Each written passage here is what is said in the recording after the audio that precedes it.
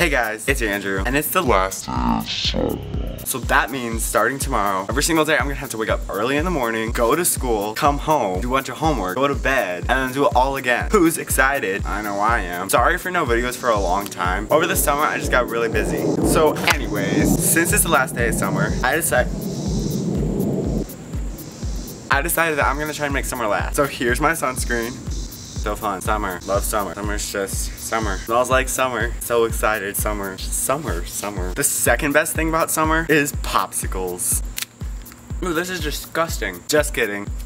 Oh crap. Anyways, that was so much fun. I, I, just feel like, what is this video about again? I don't even know. So yeah, I don't know anything else that's fun to do in the summer besides sit around and do nothing and talk in front of a camera. But yeah, I also have a second channel. I've had it for a while, but a lot of you guys don't know about it. So I'll put the link somewhere around here. So go subscribe to that. If ever I make a big break like I just did, you'll probably see me over there a lot. Now that summer's over, that means I'm gonna need this again.